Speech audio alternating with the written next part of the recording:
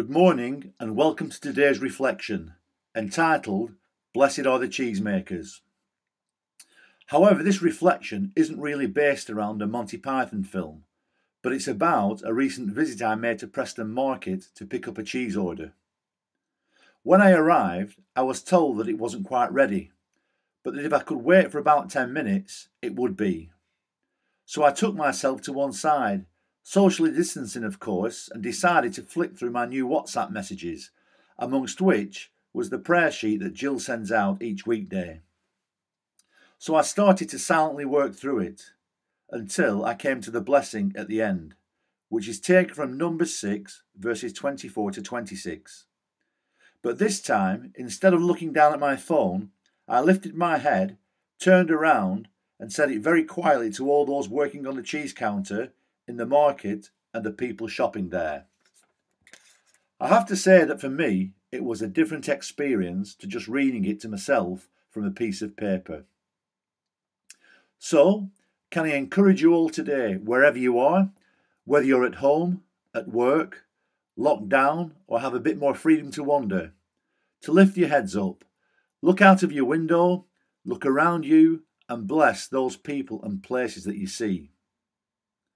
So, to all the cheese makers, cheese sellers, cheese buyers, cheese lovers, and cheese haters that you see, the Lord bless you and keep you.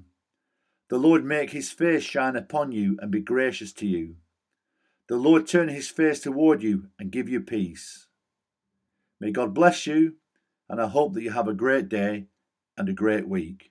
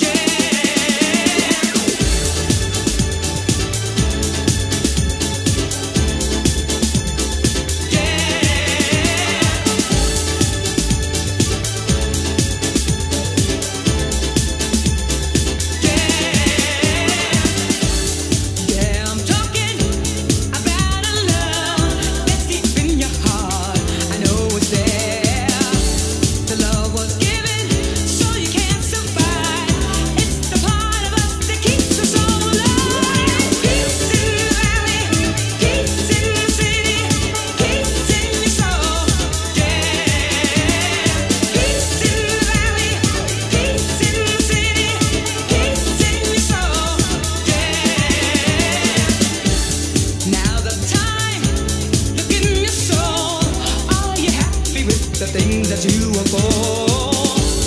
It gets better.